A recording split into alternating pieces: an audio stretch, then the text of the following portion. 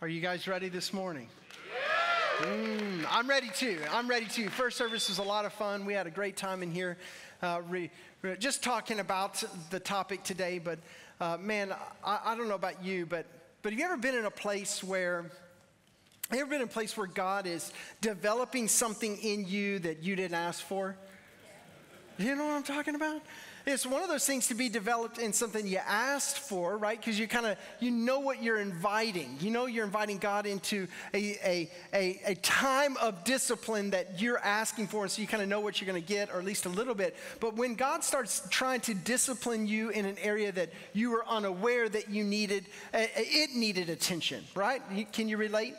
And in this particular discipline is one that I think all of us can relate to. And I, I, I know that sometimes it can be difficult uh, to, to, to be disciplined or even talk about discipline in an area because, I don't know, we kind of have this false understanding that we kind of have it together already, right? Come on, sometimes we do. Sometimes we do. We kind of feel like, yeah, I've already got that done, or that's in the done column, or I already checked that box. That's my wife. She's a checkbox person. How many checkbox people do we have? Right? Once it's done, it's done, right? The gratification of throwing that check mark to the side of it, right? I'm sort of like that highlighter guy, you know, circular, like lay it out again. Like I'm never done with whatever I'm doing. It's always can be better. I can always get worked on it. Uh, and that's, uh, the Lord is dealing with me in this particular area. And that is in the area of, get ready for it, it's in the area of waiting. Yeah, yeah. So, for all of you future communicators, this is how to lose the room in about 10 seconds, right? how, not, how, how to not understand the audience you're talking to um, when you say waiting and everyone moans and groans. And then immediately in your heart, there is tons of regret. like, just thinking like i could have gone anywhere today i could have done anything today but to hear a guy talk about wait, waiting um, and I get that. I don't blame you for that because that's a difficult task uh, uh, to do sometimes.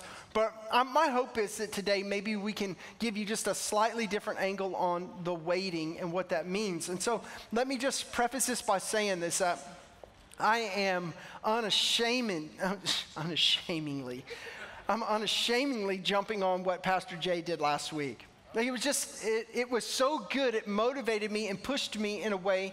Uh, if you haven't heard last week's sermon, but he was talking about the here and the there and the time in between, right? He was talking about the in between time. And how many would agree that we found ourselves in that place at some point in our life in the in between season? And what motivated me is seeing hundreds and hundreds of people respond to the altar saying, I'm there and, and I need God to show up. And then, and then I, I, I did also walk away this week thinking, you know, God, in a lot of ways, I feel like I'm also there, but I'm, I'm asking you, God, I want to know how to, to not just recognize that that exists, but I want to know how to exist within that in between time.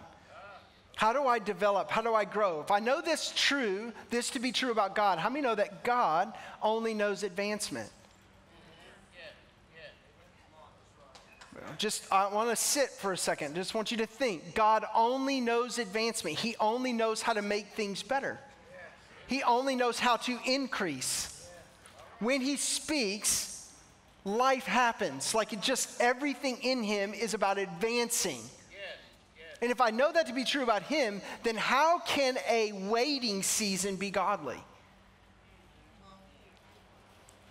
See, there's a portion of what we we have like categorized waiting into a really bad, bad category. Uh, okay, l- let's talk about for a second. Like, anybody ever waited for something, like something you ordered online and you're waiting for the package to be delivered to your house? You know how like frustrating it is to constantly be checking your phone and the tracking number and like I needed to get here. Some of you men know what I'm talking about when you have something you're trying to surprise your wife with and, and, and you're trying to beat it right, before she finds it? Or, or how about this? How about just waiting on somebody? God, as a kid, I struggled with this. Like, like if I was being picked up by a friend who said, Yeah, I'll be there in a little bit. We're going to pick you up, take you to baseball practice or whatever you're going to do, basketball practice. I would sit and wait at the window and just stare into to oblivion, waiting, like, and then with every tick of the minute, just feeling like I have been rejected and, and they, lo- they forgot me. Well, it's only been two minutes. My mom be like, it's been two minutes. Just relax. Go do something else. But, but I, would get, I, would, I would get so heartbroken over the amount of time it would take for something to happen. Can you relate? Okay, okay, maybe, maybe not your, your deal. Okay, let me, let, how about just try this one? How many hate waiting at a restaurant? Uh uh-uh. uh Caveat, caveat here. When you know there's other tables, right? You can see, visibly see, there are tables and there's 20 of us waiting at the front door, but there's plenty of enough seat. I, I don't know about you, this is a pet peeve of mine because I, in my, you don't know what it's like. Maybe you do. Okay, some of you do. Some of you definitely know what I'm about to say. But you don't know what it's like. You know what it's like to get all your kids loaded up and to have done your due diligence to go through there and make sure they have clothes on and they're ready. They've been given the speech. They know how to act when they get in here. They know what we're going to order. They know the way this is going to go. And then when I get there, you're not ready for me? Can I tell you something? That will throw a kink into your life journey. You heard what I mean? I said exactly what I meant to say. Your life journey will be affected by this. Not just your dinner. This is the way you think about life if this doesn't go well, right? I mean, just, I, I'm just talking about when you're there and you've prepared and it seems like nobody else is prepared.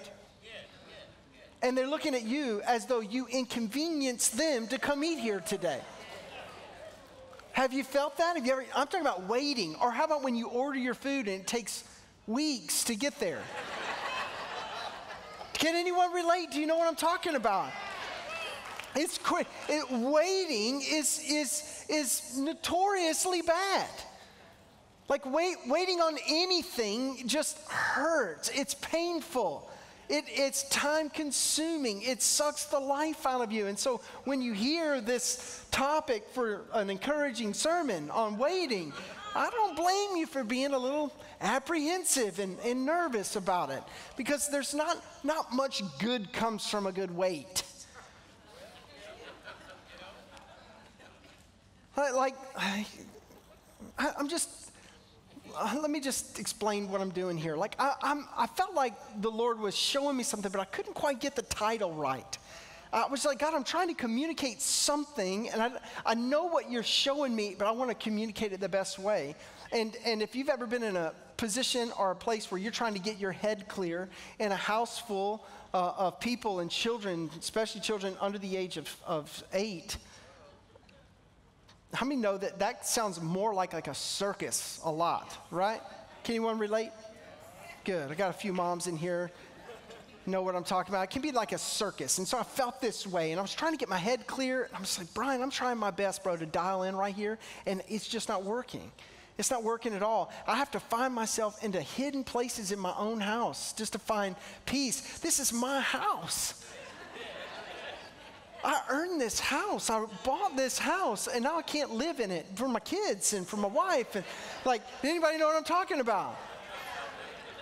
So I'm trying to find peace, but Mary Poppins is blaring in the back. and yet, I'm in there, and all of a sudden, it's like, I hear this lullaby from Mary Poppins, and I come busting out of my room and tell the kids, hush, hush, hush, listen to this. Listen. they're, they're stunned because, like, it was just weird. And I'm like, listen, listen, listen, listen. Where the lost things go, was the lullaby. It's a lullaby about uh, losing something, but it not really being lost, it's just misplaced. And, and it was perfectly done and timed for me to walk into and say, That's what you're trying to say. That's it.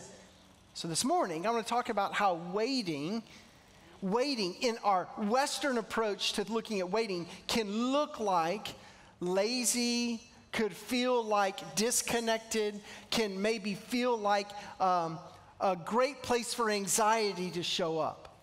But I'm, I'm going to challenge that today and say there is a place of waiting where the things you thought you lost are not lost, but just waiting to be found. Right? They're misguided, misplaced, but maybe not misplaced is maybe not the word, but they're properly placed. And here's where I'm going to. I'm going to give you the punchline before we get there. And that is there is a place in God that despite whatever you've lost, how many have lost your keys before? Oh my. Lost the remote? What a terrible thing. Right? One of the worst things can happen in society, you know, these days. Your phone. The panic that sets in when you lose things like that, right? Right? Everyone has lost something, but, but in this case, I'm, i want to submit to you that, that when God is doing something in you or has seeded something in you and you don't feel like the, full, the fulfillment has happened or the time has happened or it's not going to happen, then all of a sudden you feel like whatever God has said to you is got, it's lost its power, it's lost its effect. It's lost its ability to produce something in you. There, there comes in that moment a, a level of discouragement and frustration that has been here from the beginning of time, and I want to share that with you. Now, I have an anchor verse we're going to use today. It's going to be the one we go back to the whole time because I think it's critical. I had the privilege of doing a homegoing service, a celebration service for a friend of mine. His name was Art LaPetra. He ha- uh, attended here, his family attends here. That happened at the beginning of the week, and this happened to be his favorite verse. And I thought it was so appropriate um, for, for us to maybe use it today because I feel like there's a lot in it we can get out of it. So let's read it together. It's Isaiah 40. 27 through 31, I'm reading out of the message translation, and that's on purpose. All right? So if it didn't match there, you can see it on the screens here. I'm going to read it to you, and I've got a couple things highlighted I want to I want to hit. So it says this Why would you ever complain, O Jacob, or whine, Israel, saying, God has lost track of me? He doesn't care what happens to me. Let's stop right there. Anybody ever relate to that kind of phrase? Why has he lost track of me? Have you ever lost your kids? Huh? Have you ever lost your kids? Come on. Yeah, you misplaced them. You got to shopping. They got to hiding into clothes racks, and all of a sudden you're lost. But you're not really lost, are you? See, as a kid, you used to think you were lost, but really the parent almost always knows about where you're at, where you went into the last rack, you know. You haven't really lost there, but, but there's, there's a point where you can get to a place where you say, hey, God, you, you lost track of me. You don't even care what happens to me. Look at the progression of how fast they went. You lost track of me, and now you don't even care what happens to me.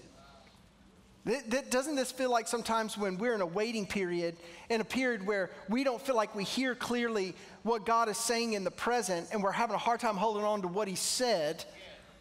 Huh? that we get to a place where you don't even care what happens to me. I'm out here by myself. You got me trying a ministry and you got push me out here by myself. And he says, I love this. Don't you know anything? Haven't you been listening? God doesn't come and go. God lasts. I love that. He don't come and go, he lasts. He lasts. He's creator of all you can see or imagine. He doesn't get tired out. He doesn't pause to catch his breath. And he knows everything inside and out. He energizes those who get tired, gives fresh strength to dropouts, for even young people tire and drop out. Young folk in their prime stumble and fall, but those who what? Wait. Wait. Say it again. Those who wait upon God, get fresh strength. They spread their wings and they soar like eagles. They run and don't get tired. They walk and they do not what? Fall behind. They don't lag behind. They don't faint. Right? It's amazing anchor scripture, but it's something we have to recognize is that though this is sort of like our, our North Star, if you will, right? This, this t- for today's sake, an opportunity for us to say this is going to anchor us, but, but we got to recognize that waiting is like an old past time. It, did, it didn't just happen to you. There, there's, a, there's a temptation to think that you're the only one in waiting. You're the only one that's ever had to wait for anything. It looks like so and so is always getting so and so or whatever. That, that's happening for them, but it's never happening for me. Can you relate? Right? You've been there. Uh, and there's that temptation to think it's just for you or it's just about you or in the sense that it's just happening to you. But I'm here to tell you that waiting started way early on. In fact, it started with Adam and Eve.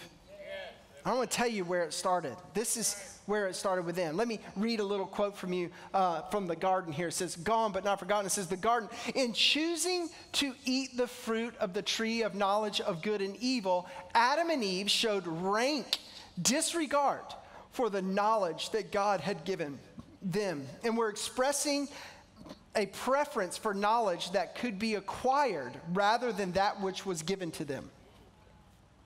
Can anyone relate? I want you to just take us back to that moment where Eve has been deceived, right? The serpent has got her thinking, right? Literally, the, the conversation is God will not kill you. You will not surely die if you eat of this tree because he doesn't want you to be like him. Right? That's the conversation. And in doing so, she contemplates and says, No, this looks good to me. And now that I know it's keeping me from something, it's driving me into a decision for myself.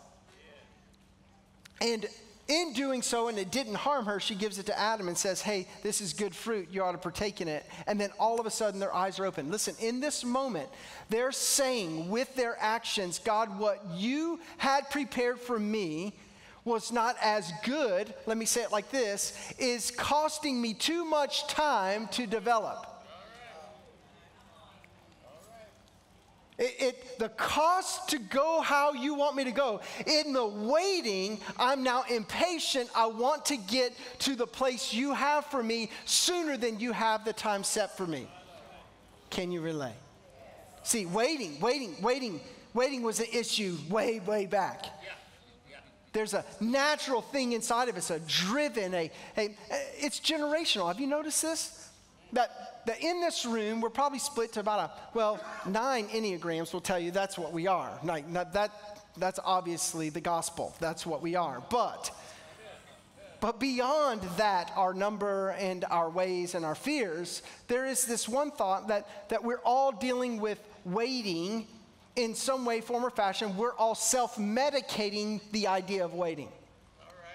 In the Western approach, waiting is like bad. And so if you're older, you grew up in a generation that said, if you're waiting, then do what you know to do until what you want done is going to happen right? So there was a there was a saying, I'm going to strive because I never want to look like I'm being lazy because that's worse, right? That might be the worst thing you can be called, right? Is a lazy man. I'm not going to be lazy. I'm going to pursue something. I'm going to put my effort into something. I'm going to strive while I'm waiting on this thing that I've been promised to get done. And though it looks like a really good discipline, it's a discipline out of season. It's out of place.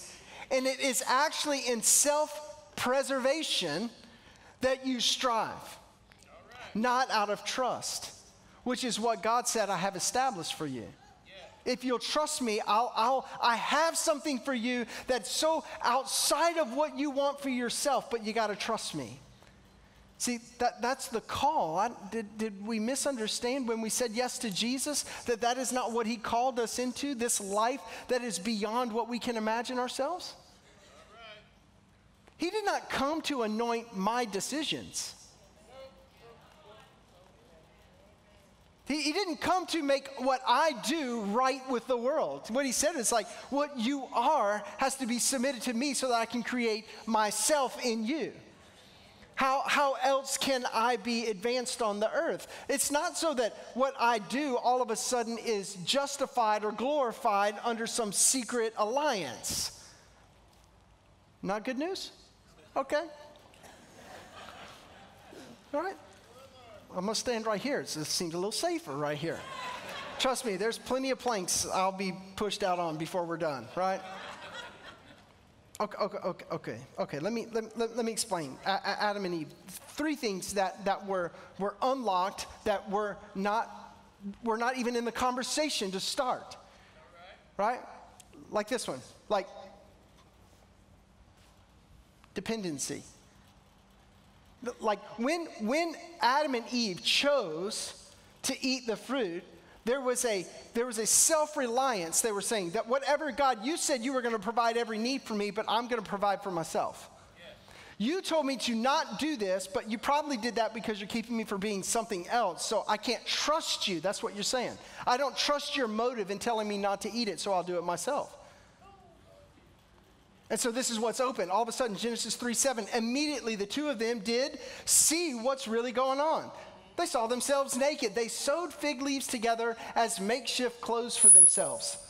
That's interesting, isn't it? What did they do? What was the action? It wasn't the action of putting clothes on, it's the fact that their eyes have been awakened and now they have to what? They have to do all the work themselves to justify themselves before a God now. Again, right? They, they, they were already walking with God, but now they can't even be seen. They have to be covered. I can't look at you, you can't look at me. And gosh, we know God can't look at us like this.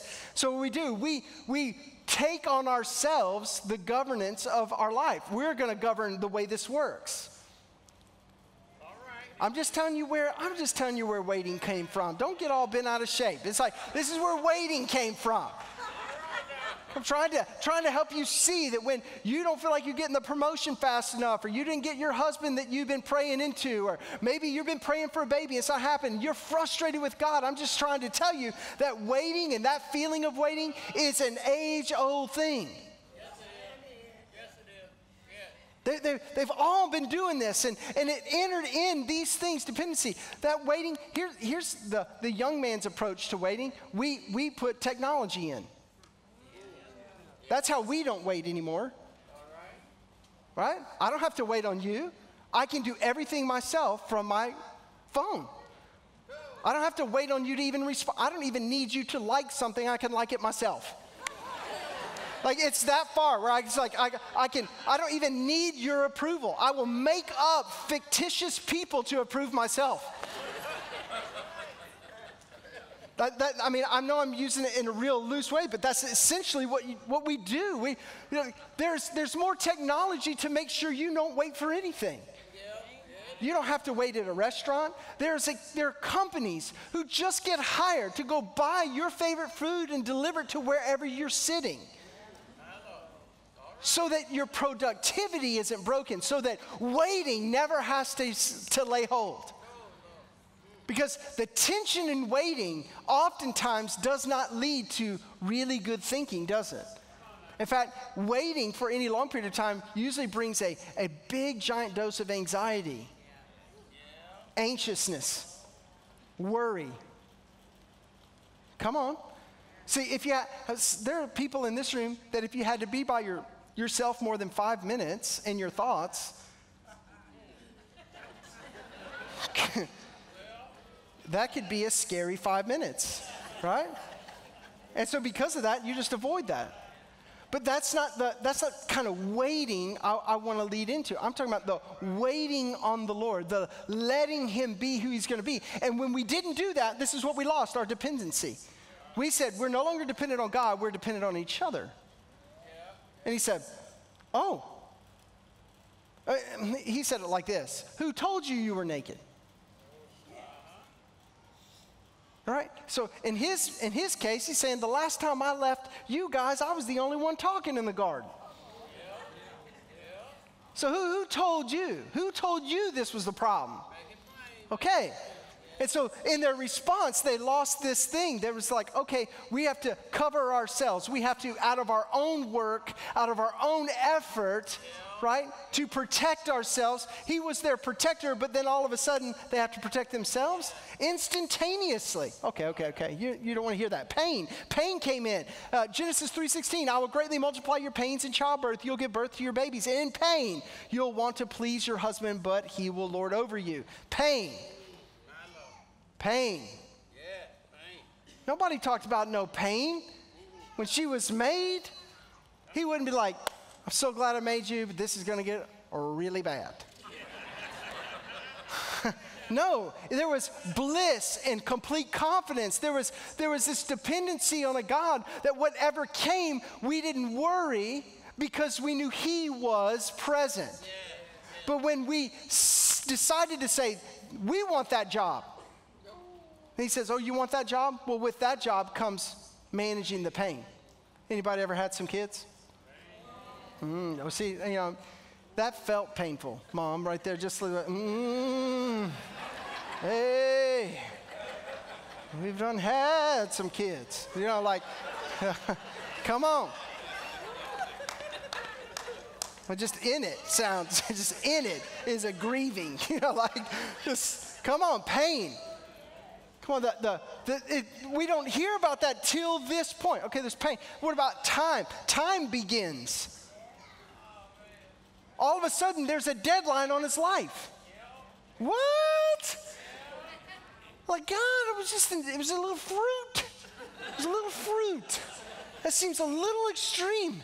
I'm with you. I'm in the garden. We're working together. And now it's Genesis 3 18 through 19. And it says, The ground will sprout up thorns and weeds, and you'll get your food the hard way. Planting, tilling, harvesting. Anybody know what I'm talking about? Adam alluded to this earlier, right? Until you return to the ground yourself, dead and buried. You started out as dirt, you'll end up as dirt. Well, this, this, this, it went, went so fast. It was like, it was bliss and joy to, I'm, uh, you didn't say I was going back to the dirt. Like, how, how did I have to go back to the, he, it's because he's going to redeem it. We know that. He's going to redeem mankind. But I'm trying to tell you where waiting came from is right here. It's like, hold, hold on. Wait a minute. God, have a little patience, would you? Right? But he says, No, I, I, I want you to have the fullness of what you want, to govern yourself, dependent upon yourself and all that comes with it. Right? I don't want to just do all bad things here. I'm going to give you some hope. I can tell you need it. We're already at that place. Listen, there's a place in waiting in that in between time, Josh, where oftentimes I think this is a misconception is that the in between time that Pastor Jay spoke of last week, it's a transitional piece. But I also would encourage you to think of it this way. There's also a time in your life where when you weren't grateful for here, so you want what's there, and so he's keeping you in the waiting till you can become more grateful for here. I'm just, I'm just telling you, there's a, there's a place where you can hang here if you want to, and you can, you can have all your eyes set on where you're going. But I'm just telling you that God's setting you up if you'll let Him. He'll pull you in close into this thing and say, if you'll trust me, the waiting isn't as bad as you think. In fact, it's, it's not that you're losing, it's that I'm developing something. How can the word waiting be a verb and be a stagnant motion? to wait and yet and yet nothing. It's because in him there's always something happening on your behalf. And when you lose sight of it, you begin to take more control over the outcome because you say, Well, I think God needs my help. He's been a little quiet too long. And so if I'll assist him by setting up this or setting up that, how many know that those things have to be confronted because it's that that he's trying to develop you in the in between time. He doesn't want you just hang into this place where you don't know to go here or there. It's not a black hole. It's actually a strategic place for him to build the necessary character qualities you need to carry the next season. And if you can't see that, you'll be pushed into, or you'll push yourself or invite yourself into a season you're not ready to carry yet. Adam and Eve. Okay, so I've done all that. Let's, let's go to the next slide. I'm going to talk about these five areas right here. These are things that waiting can produce in you if you allow Him. If you will allow Him, He will produce these things in your life, and it will be the things that get you ready for what God has for you. That's either in there or here or anywhere He wants to put you. This is what He's trying to strengthen in us. This is them. I'll start with the first one. If you allow the waiting process to go well, and that means you just leaning into Him, He wants to do this. He wants to adjust your priorities. In the quiet time and waiting time with Him, it's usually my priorities are the first thing that go.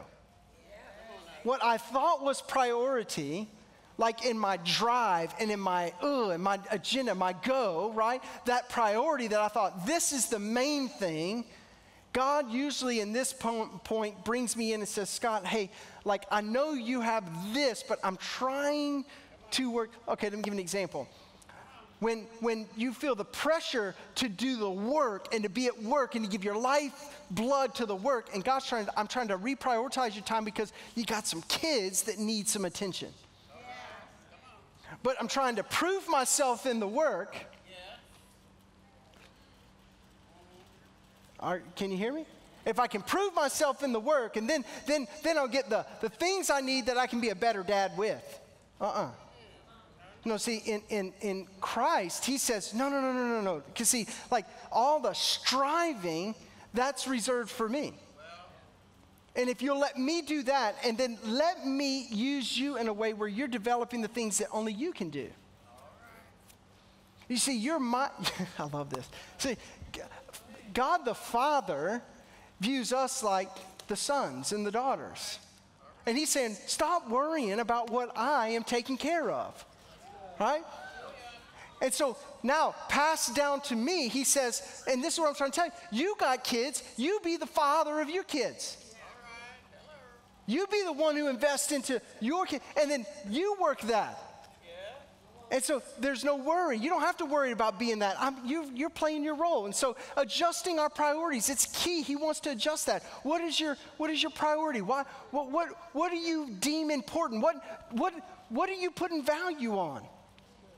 And what, how are you spending your time? I want God's answer, but I don't want to spend time with God. What's your priority? I want the God of the universe to move on my behalf, but I don't want to sit down and talk to the God of the universe. Okay. Well, that's going to be tough. Right? And we wonder why we walk away with unanswered prayer. I told you it's going to be full of good news today. Like, I, I, look, we either, we either want to grow or we just want to we just want to turn the cheek right? We just want to act like we didn't see that. I'm just telling you in order for us to be used by god to the full capacity of what he wants to do on the earth we're going to have to address these things. Yes, we're going to have to look them square in the face and we're going to have to make internal adjustments or we will repeat this cycle over and over and over and over and over and over and over until somebody shakes themselves and does it. I'm saying, why not us? Let's do that. Right, because he wants to do this. He wants to test our faith. Hold on, hold on, time out. I didn't sign up for no testing of the faith. No, sir. No, sir. Come on. How can a God test us how unfair can he be? How, listen, look, and I saw some of y'all driving into this parking lot today. And I had one question Have they been tested? I mean, just think about if we just released. In this society, nobody wants to test anything because it, it might reveal it right, might reveal something about somebody that they don't want revealed, like they didn't study. So we don't test anything and we just turn the cheek. Like, are you studied? Yes. Well, good. Here's a giant car. Run it out in the road for us, right? Like, we would never do that, but I'm just saying there's a purpose in testing. How about this? How did we think that if gold needed to be refined by fire, that our faith wouldn't? Right, that measure of faith that he gives us, he says, I want to make sure that it's, it's leaning into me, not onto you or an agenda. I want it to be me. So our faith is, how about this? Our motives are going to be purified. See, in that middle time where we're waiting, it's where our motives get readjusted, recalibrated to where they're supposed to be. Why am I why am I in this? Why am I praying this? Why do I want this? It's our motives that have to be tightened up in this moment. That happens in the waiting period with him if you'll let it. It'll increase our gratitude. Man, if there has ever been an age where we need to start being grateful again, the consumer mentality, the, the idea that more is better. Can I tell you, there is a place of contentment when we're, when we're gratitude, we're thankful. Come on, we're, we're just thankful. I, am I'm, I'm not, don't get me wrong, man. There's, there, I, I want, I want things, I, I, I strive for stuff too. I, I get it. But I'm just saying, like, there has to be a better balance of my gratitude to my want. And, and nobody's going to control that for you. Nobody's going to come in and police that for us, Christian. That, that's internal, that's self aware. I have to know there's been a season where I've been real greedy and I haven't been thankful for where I'm at and what I, what, what I have thankful for the relationships that are in my life and thankful for the mom and the dad and the grandmother and the job and the things that God has provided for us. Come on, listen to me. There's gratitude can grow here. It's not a dead hole. It's not, not it's, it's a place, it's actually a real fertile place, this waiting place. Don't believe me? Think, think about where does, where does the spring hide in the winter? Waiting to be revealed. It's hidden away in a waiting place. It's not that it's gone, it just mysteriously approaches. It's that underneath a waiting time for it to be exposed. You have to think that this is where He has us. If we can really see it, He wants to develop us. He wants to develop gratitude, but dependency. He wants us to get back, to return dependency again. So that when I wake up in the morning, that I say, God, this is your day. How can I be involved in it? God, how, how do you want to use me in the way this day is going to play? How can I be a blessing to the people around me today? God, how can I? I have a dependency. God, I have needs, but God, those needs don't supersede your ability, right? I, I, I can't let need dictate my decision making. Can I tell you, if you do that, you'll, you'll spend your whole life trying to catch up. Get out in front of it and declare who God is. He is the provider and the, uh, and the he, he, has, he has so much at his uh, um, disposal for you, and he wants to give it to you. He's not withholding, making you earn it. It's not, this isn't an earning thing, this is a repositioning thing. Uh, uh, Rick, you, Rick Fernandez and I were talking after the first service, but we're talking about what happened was is the eyes of Adam and Eve were open because they were uncovered because they came out from the covering. Right? And so, with, with that concept, think about it like this like, we have to be in his covering. We have to get under the hand of God. It's not a, it's not a, you have to prove yourself. It's just a submission of God, you're in control. It's deciding that you're going to let God be God and you're going to be you. But we want, we want God to be our bro or our homie or our friend, huh? And we want to be God.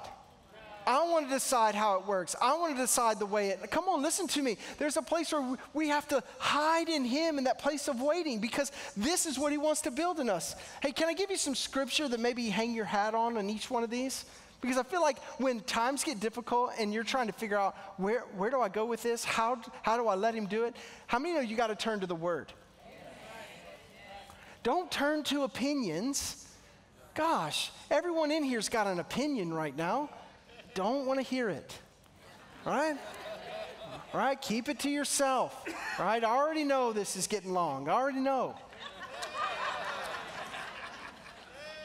Right? But I, I'm saying everyone's got an opinion, but, but I'm just saying, like, it's the Word of God that will sustain you long after the preacher's words have fallen, the worship has faded. Come on. When nobody, eh, nobody's around to encourage you, Jesus Christ is saying, I'm every present. I'm everywhere. I'm right here, very present. I'm very close. I'm very near. Lean into me. Wait with me. Isaiah says that those that wait on the Lord will renew their strength. When we hear a scripture like that, that should be an anchor to our soul, why is it that we spend a lot of our time in a place of weariness? When we know this is what he promised. Those that wait on me, that, that I heard that. So what I'm going to do is I'm going to strive.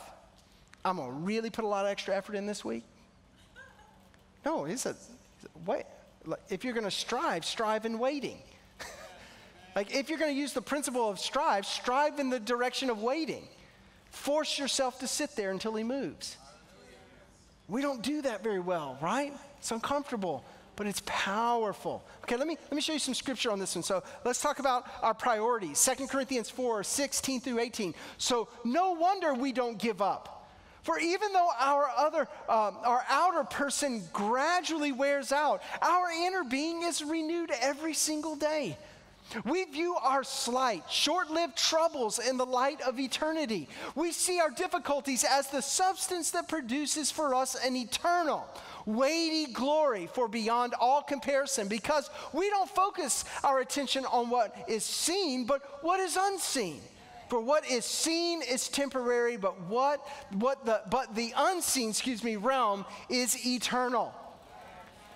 Come on, doesn't it bring life? When, when our priorities are not about what we can manifest in the physical, but what we can celebrate in the unseen, who He is when nobody else is looking.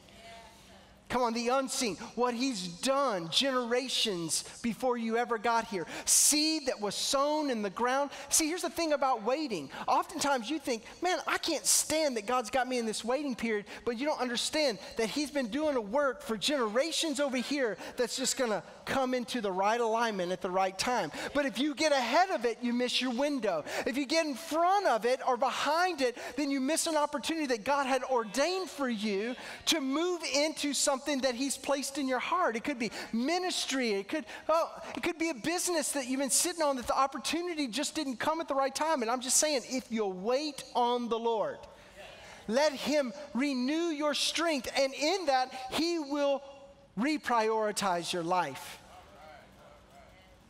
And then the unseen becomes valuable again.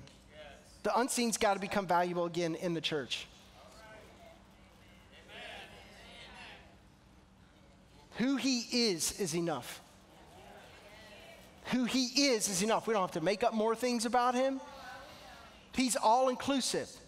Gosh, he's amazing. All right, go to the next one. Priorities to change, faith that's going to be tested. 1 Peter 1 4 and 7. We are reborn into a perfect inheritance that can never perish. Everyone say, never. Never, never be defiled and never diminish. It is promised and preserved forever in the heavenly realm for you. Through our faith, the mighty power of God constantly guards us until our full salvation is ready to be revealed in the last time. May the thought of this cause you to jump for joy. Even though lately you've had to put up with the grief and many trials, but these only reveal the sterling core of your faith, which is far more valuable than gold that perishes. For even gold is refined by fire. Your authentic faith will resort and uh, result excuse me, in even more praise, glory, and honor when Jesus, the anointed one, is revealed. Woo! Listen to me. Listen to me. When our faith is tested, I love this first phrase here. It says, We are reborn into a perfect inheritance. Perfect. Everyone say perfect. Perfect inheritance, not a sloppy one. Come on, a perfect inheritance. Who is our inheritance? Who is it? Jesus is our inheritance. That will never perish, never be defiled, never diminish. Listen, our faith has got to be in this waiting time where He can say, I'm renewing something in you that can never be taken away. I'm renewing in you that trouble can't diminish. You see? Faith is being built. Okay, so let's go to the next one. Our motives, purify our motives. Hebrews 4 12 through 13. For we have the living word of God, which is full of energy, like a two mouthed sword. It will even penetrate to the very core of our being, where soul and spirit, bone and marrow meet. It in, uh, interprets and reveals the true thoughts and secret motives of our hearts. There is not one person who can hide their thoughts from God. For nothing that we do remains a secret, and nothing created is concealed, but everything is exposed and defenseless before His eyes, to whom we must render an account. Wow. How to hang your hat wow. when our motives are out of sync. Come on. Everything we think, we say, we do is seen before the Lord. And the good news is this He's not afraid. Uh, you don't believe it. Okay, so, okay, okay, okay. I'll give you another uh, uh, Old Testament uh, reference. Do you remember when Aaron, uh, excuse me, when Moses went up to the mountain to receive the, the, the, Ten Commandments and the instructions on how things are going to be laid out, right? Now, mind you, the children of Israel and everybody else said, We don't want to go, you go. Do you guys remember how it started? They're like, it's too scary. We don't want to talk to God. Moses, you go, you be our, our mouthpiece, our representation. So they just said, they distanced themselves from personal responsibility. That's what happened. We're going to take a step back from personal responsibility. We're going to push our man out there and just see if he survives. Okay. All right? Moses, you do it. Moses disappears. He's gone a little too long. Why? Because the children of Israel have decided that we're tired of what? Waiting. like, I'm not waiting anymore. We don't even know what happened to Moses. That's what they're saying. We don't even know where our man is. He's been gone so long, we don't know what happened to Moses. Well, so this is what we're proposing, Aaron. We want a God we can serve. We need an idol. We need something we can make sacrifices to. So he gathers everyone's gold, right? Brings it all in, refines it, builds and molds a golden calf sets it up, and people begin to dance and to sing and to eat and to literally sacrifice before this yeah. idol. Yeah. Yeah. Now, now, listen to the irony of this. Listen to how wild this is. At the exact moment that Aaron is giving into the, the impatient motives of the children of Israel, right? The I don't want to wait anymore. At that same moment, God is actually defining Aaron himself with a destiny. God is speaking to Moses on behalf of what Aaron and his family are going to represent. And says to Moses, Now, this is what I've determined about Aaron, but you need to get your boy. You need to get your boy. You need to get up off this mountain. Your boy's done lost his mind, and we ain't even got started yet. That's my version, right? You need to get your boy. And that's what he said. He says you need to get down there and deal with this thing. Now, now, why is this important to mention? Is that despite Aaron's pressure to produce something to quiet the waiting, God says, I haven't disqualified you, Aaron, for what I actually called you to do. See, what you're living in is a version of what I've actually called you to oversee.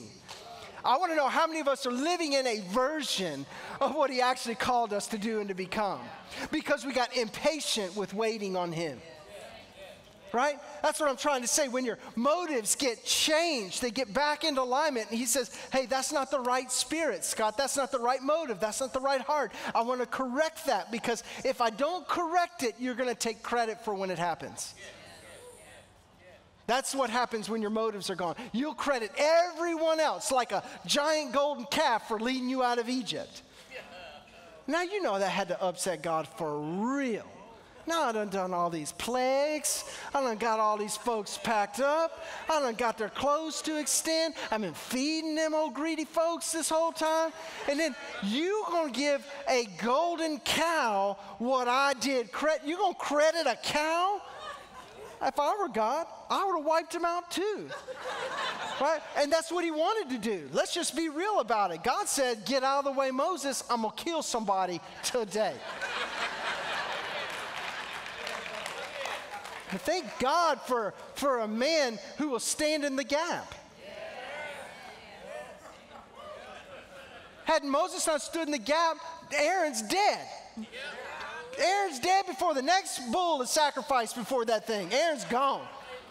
Right? But there's a man who stood in the gap. I'm just trying to say, like, sometimes God will send people into your life that you don't even know are standing in the gap for your potential.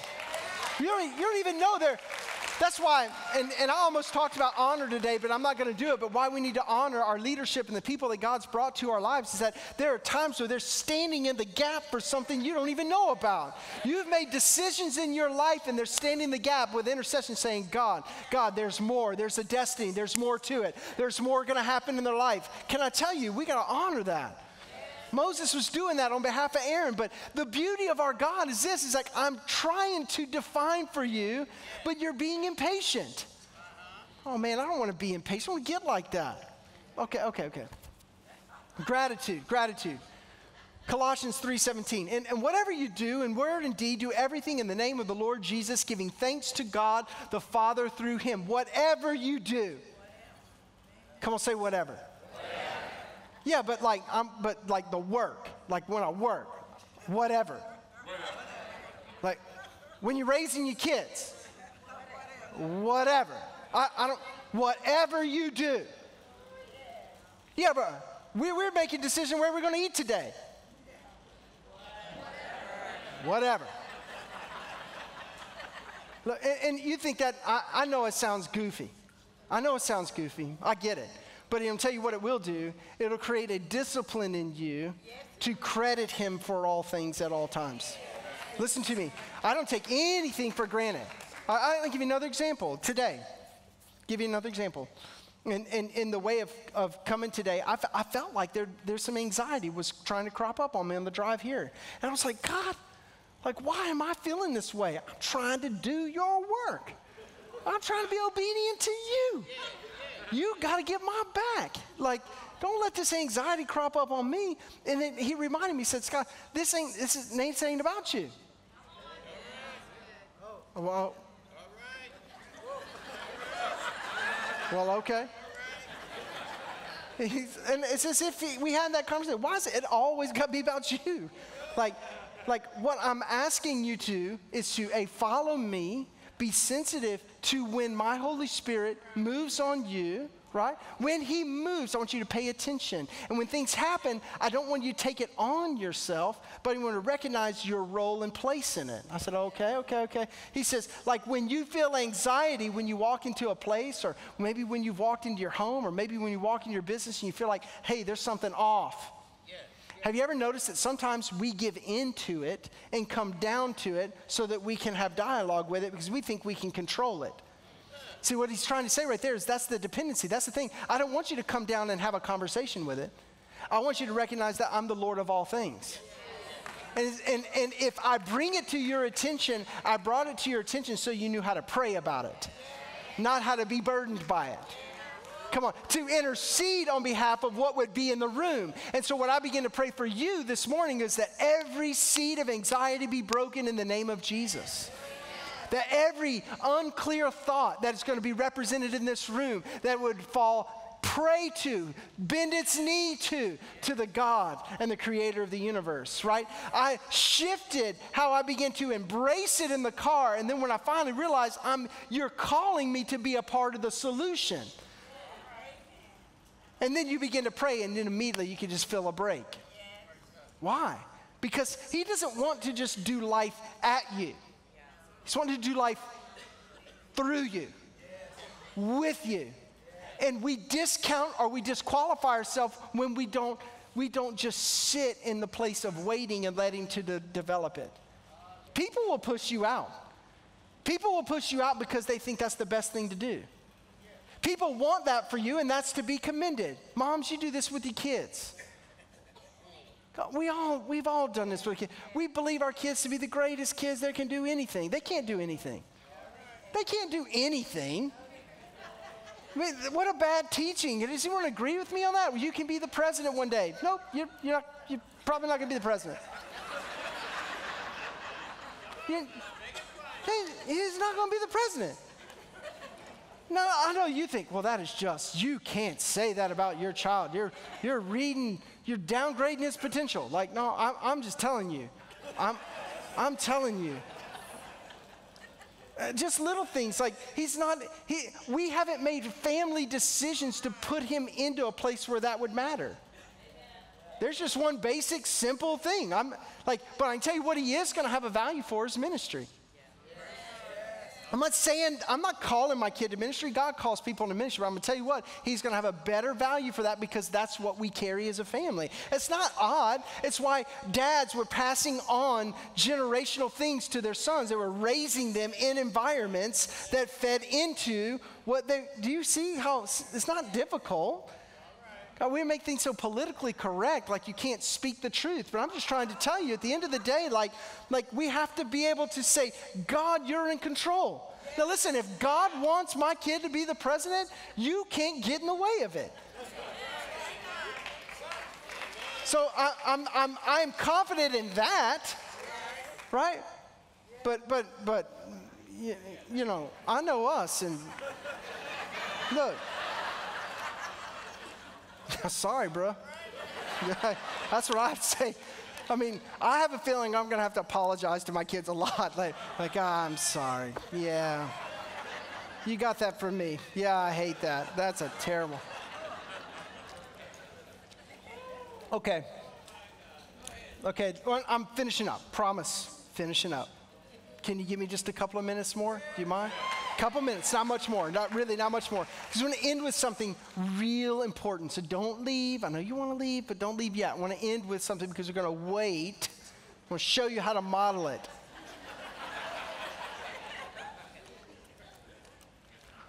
like I'll put that pressure on the people leaving. Don't get out of your. Just kidding. James 1 7, dependency. Every good gift and every perfect gift is from coming down from the Father of lights, whom there is no variation or shadow due to change. Come on. No variation, no turning. He's perfect. He's, he's the perfect gift. He's right. When, when, when I think he's wrong, he's right. Come on, he's, he's good and loving and kind and true and righteous and just even when I don't think he, sh- he is, or when I think he's been just when he shouldn't have been. Oh, but he's still so true and he, he, wants our dependency. He wants to know that you can count on him in that way. Yeah, but I'm, I'm trying to get this up off the ground. I'm trying to do this and I'm trying to do this. Could, can I maybe just make a, a slight suggestion? If all that trying has only got you what you got, can we just maybe try waiting? Just try waiting. I'm not saying I'm not, I'm not saying just change everything, but I'm just saying like you've been doing, you've been doing, you've been grinding, you've been this, you've been that, and it's just still flat. Can I can I suggest something that maybe God's trying to develop something in you? Is that it's not actually thing you're pursuing is wrong. It's that the posture of where you're at is wrong. Is that because the, the, the destination isn't the end game for him? You getting what you want isn't the thing that brings joy and advancement to the kingdom of God. Oh, okay. Um, that's, um, that's a scary place to be. I'm just, don't throw anything at me. Good news about our church is all we have is like paper in the back of the, the chairs, so it ain't getting very far. But in an old school church, used to be books could be thrown up here, so that you had to watch out for. But, but, but hear me, like there's a, there's a place that we have to get to. We really have to get to this place where we, we, we can trust him because he's, he's, just, he's just that capable. Okay, can, can I give you another example? I thought this was interesting. Like, Pastor Jay was talking about, uh, I'm going fishing. Remember? I'm going fishing. Peter's declaration to everybody say, Come go with me. I'm giving up. I'm going fishing. I'm going to go do what I used to do. You guys remember this? Um, if you don't, you can go back and read it. But in Acts, and he's talking about this, and he's saying, I'm, I'm out of here. Uh, I'm going. But why is he making such a big declaration? Especially in light of what Jesus had told them the last time they were together in the supper. And he said, Look, I'm going to send you the Holy Spirit. I, I have something for you. I have something for you, and it's coming. But here's the thing I am commanding you to stay put.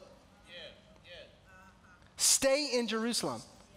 And then I'm sending you the promised Holy Spirit. Now, I want to just stop right. Does anyone else find it? This scripture is fascinating to me in this sense. Is that is why would God have them stay in a city where they're killing Christians? Like folks are getting persecuted in here. So he, he's having the disciples, I want you to wait, huh, in a place of persecution. I want you to wait there. Couldn't be any more safe than you are right here, really. Like I'm just saying, common sense would have said, "Hey, let's get a little, let's get a little pad outside town, right? Right, where all the other criminals used to hang out, right? Like, like we're they're all looking for us. We're going to get us a little spot out here, regroup. We're going to regroup. We can get in here and just just encourage each other, right? And no, he says, no, no, no, no. What I want you to do is I want you to stay right in the middle of it, and I want you to wait on me there. Second part of this that gets me wait, wait. How, why would he ask you to wait on something he already promised was coming? Like, if he's God, can he not just give you what he said he promised? If it's a promised thing and you can count on God, why doesn't he just give it? Why do we have to go through the waiting process? Why do they have to go back and sit and wait? Why do they have to get in a place where they're waiting on something he said is already going to happen? He's God right? He didn't have to wait. Holy Spirit could have been instantaneous. Why? There's no reason. The Holy Spirit isn't developing better. We're not like waiting for the Holy Spirit to develop into who He is. Right? No, the Holy Spirit's been there from the beginning. And since He's been there from the beginning, why doesn't He just show up the day of Christ's return? Seems pretty good to me. Sort of like a race. Like, I come up, I tap your hand, you go down. Right? Like, it feels like it should be that simple. But, but he says, no, no, no, no. This is what I want you to do. I want you to get everybody together. I want you to wait. And, and yet, even then, they can't do it. Because it's just too long. It's just too much time. But I, all I'm saying is this, is if God had made that command on their life, that in the midst of where it's really tough and difficult, and he's saying, if you'll just wait on me there, you're going to find something that you can't get on your own. And that thing is called the Holy Spirit. And even though I could reveal him to you right now, I'm trying to develop in you something that is going to change the world. And that I can't change the world if you don't have the fortitude, the faith that's been tried, if your motives aren't in check, Listen to me. If your perspective is off, then it's gonna, it's not gonna be the movement that we're supposed and God created this thing to go like a movement. So I need you to wait so that I can develop you. That waiting wasn't they lost anything. It wasn't as though they lost something. It's where the lost things go. It's in a secret place. It's in a place in Him that says, You can trust me with it. It's a place where, you, even though you may not be seeing the development and the quickness of it, but it's a place where you can lean into and say, God, I trust you with every area of my life. And in this area, even though I don't see any momentum, I know this you only know momentum, which means even though I can't see it, you're already working for my behalf. This is a posture that if we can live in it, then we can have peace that passes understanding. That's that that he's speaking of. That's the thing that's uncommon, unknown peace, is that a trusting him in spite of what persecution is going on around me. Because he's developing something in me. How do we do it? We do it by stealing away, spending time with Him, being patient, asking God to discipline the areas that we walk through today. But there's one way to get recentered immediately, and we're going to do it today. Anybody have a guess? It's in your hand or in the seat, wherever you put it when you thought I forgot we were doing communion.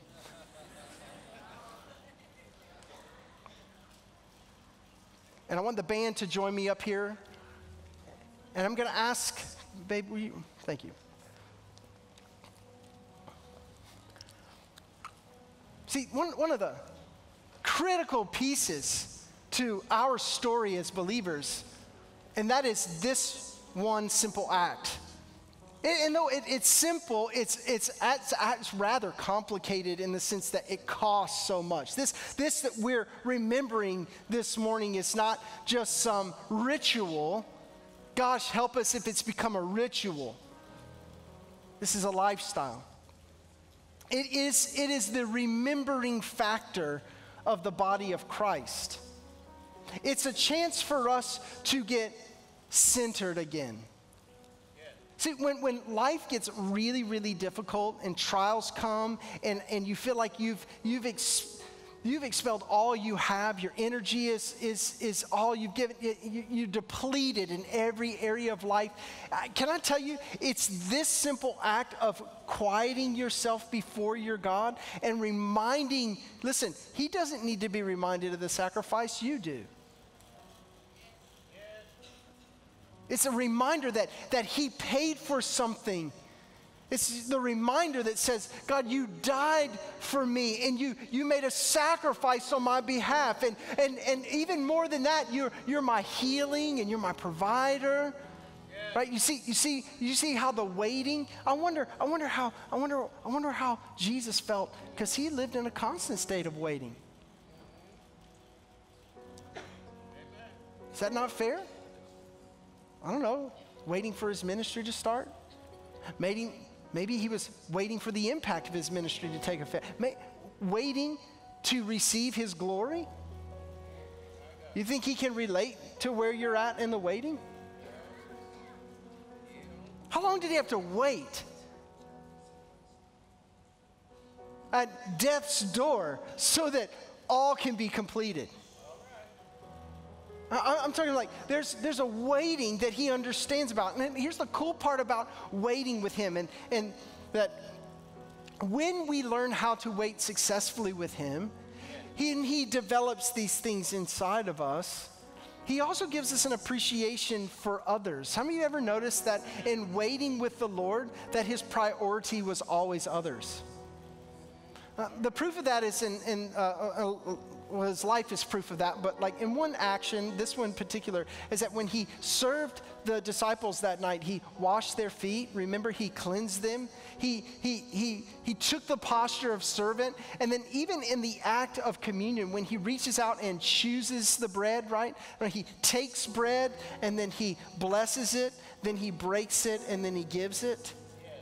See, these are all, these are all actions that, that became known to the, the follower of Christ. They, they were important. They're actually steps for us in our life where God has chosen you. You need to know this morning you've been chosen. You need to know that you've been blessed and you are highly favored because you're His. Not because of what you have, but because you who you are in conjunction with Christ. Like you're, you're, you're blessed beyond measure. Okay, so there's a blessing, but how, how many can relate to this? There's a place where he's gonna, there's gonna be a breaking in your life. And in the breaking, it's not so that you're broken-hearted, but that you can be served up to others it's to be a blessing to others. He was he's always everything that he did so intentional. And, and so when you're in a place of waiting, the quickest way to get recalibrated back to where we're supposed to be, Max, you know this is, is to get before a God who made an ultimate sacrifice and say, I recognize whatever I have been trying to do has come up short. But God, what you did has been complete. It's, it's a place, it's a posturing of a heart. So, would you stand with me? I want to do that with you today because I believe this is how we can model. I want to model for you, right? And we could do this all the time. My wife, big group of us actually, there's a whole group of us that um, have, have been inspired to stay on top of taking communion at all. Co- I mean, when there's any kind of sickness in the house, we sit down and we have communion. When we have a big question or something we're facing, we sit down and have communion. When we're facing anything, we just know that there's a place where we got to stop and commune with God. Like, because the temptation is to try to do it on my own, the temptation is to fix it. How many fixers are in the room? You know what I'm talking about? You're just a fixer. Like, you hear a problem and you want to bring the solution. Because I just, you're, you're wired for it. And yet, I'm trying to tell you the real fix is being recentered to Him because that's where the blessing is. That's where the favor is at. So if you would, would you take your, your bread out here? Uh, your, uh, your styrofoam piece, whatever, whatever you're eating today. Bread. This, this, this represents the breaking of his body. See, broke, he, his body's broken for you. Not, not just for a group of people, not for a person. No, for every man, woman, boy, and girl, it was broken. Not, not his bones, but his flesh broken. His blood spilled for us, but this bearing stripes on his back so that we could be healed so that we can have a can, a kinsman redeemer in Jesus. You, you, know what I'm saying? Like, like he, he's, he is the provider of, of, of our safety and our, and our, our emotions and our, and our love. And, and, and, and there's an immense amount of grace in him. It goes beyond my, my past or my thoughts or, or, whatever may be rewired in me, he says, if you'll just submit that to me, I can fix all that. And, and it's as simple as acknowledging me and acknowledging the sacrifice that was made. He says when we do this, we do it in remembrance of Him, right? It's in the place where we remember His goodness, His faithfulness, His kindness, but it's also in a place where we do it as a body where we remember the body back together. You realize He's the common denominator for every one of us in this room. It is Jesus. This morning we recognize you, Jesus. We thank you we thank you for the sacrifice that was made. We do not take lightly that that you did on the cross, God. You and you alone get the credit for that. Jesus, we are but benefactors of your goodness and your faithfulness and your kindness. And God, we just say this morning, yes, we recommit, God, our lives, God, to your ways, not our ways. God, with the, the frustrations and the trials and the, and, the, and the confusion and the anxiety and, and the frustration, all the things that come with life and life's trials and troubles, God, we, we simply submit those back to you, God, and we say, You be glorified, you be lifted up, you be exalted in this life, God. God, would you do on this earth through me what only you can do? God, we step outside of our agendas and our motives, God. And we say, God, you have your glory through our life. God, it, you said that anyone who's sick, let him come. Let him come. Let him ask. And God, we come to you today, God, in broken heart, broken body, broken spirit, and we simply say, God, would you be the God? Of this mortal flesh, God, of this man, this weak. And God, we need you this morning. We're asking that you'd refocus us, recenter us to your will and to your plan and to your ways, and give us the courage and the grace to wait patiently on what you're trying to do. Develop in us what you need. Develop in us what we don't even know we need. For what you have planned for us is great and beyond anything we can understand, think, and imagine. Now take and eat. We bless you, Jesus.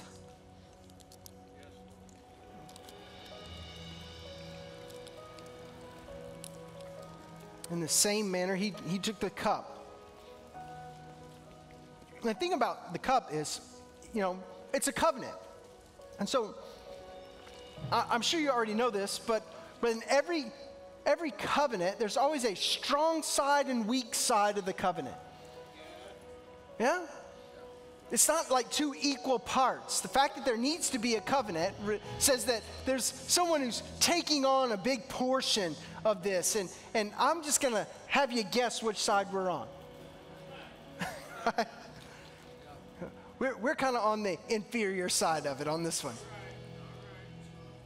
The beauty is, is he did it willingly. The beauty is, is he said it's not just any covenant, it's the new covenant. It's, it's greater than the old one. And, and the cool part about this covenant is that we're still living in its principles and in its value is still being upheld in us today. And he says he'll not drink of this cup till he does it again with us. It's a promise. It's not, it's not like, like, so what we were talking about earlier, we're, we're talking about like the promise of the Holy Spirit. You can count on it. It's not, it's, not a, it's not a suggestion. It's not like, hey, you know, I, I may wait on you guys, but I might get thirsty in between now and then. This isn't about thirst. This is about fulfilling what he said he would do as he sits patiently waiting on when the Father says to go get you. right? He's in a constant state of waiting and yet not not frustrated, not moved, not worried, not concerned, not worried that the devil might take a little more ground today than he. There's no fear in his eyes. There's no weariness and and if that's the case, he said, I have a covenant with you that says I can pull you into something you couldn't do for yourself. I'm asking him this morning, pull me into that kind of confidence. Pull me into that kind of strength and grace that only you can do. That's the covenant. That's a blood covenant that he shed for us. Isn't that magnificent? Lord, we honor you today. We thank you for the shedding of your blood. We thank you that you did it on behalf of us. God, you, man, you, you did more for us in this covenant than we could do for ourselves, and we credit you today. We recognize you. God, we recognize that it's not just your blood that is spilled, God, but it's your blood that has been applied to our hearts that makes us recognizable to the Father, that it gives us access to be able to boldly come in to ask anything that we want to ask because it's your blood that qualifies us. God, we bless you today. We thank you that you and you alone made this possible, and we celebrate you today. In Jesus' name, Amen. Let's drink. Come on, come on. Doesn't it feel good? Yeah? Listen, um, we would normally pass around the buckets. We're going to hold the buckets. You just drop it out at the door on your way out. Can we just do this real quick? Can we just thank God for how good He is? Come on, can you do that? Come on, can you just thank him? Man, he's so great. Man, he's great. Hey, can I want to say this to you on behalf of the Rock and, and everyone here on staff, man. We love and appreciate you. On behalf of Pastor Rusty and Lisa specifically, how much they love and care for you. And it's an absolute joy to serve this house. It's an absolute joy to serve here. And listen, we love you. We can't wait to be with you. Don't miss next week. Pastor Johnny Jernigan is going to be here. I promise you, you will not regret taking the time to be here. It's going to be a wonderful service. We love you. Asking God to bless you as you go this week. How many are encouraged? Feel like you can go into the waiting season a little bit better? Awesome. God bless you. We'll see you next week. Have a wonderful week.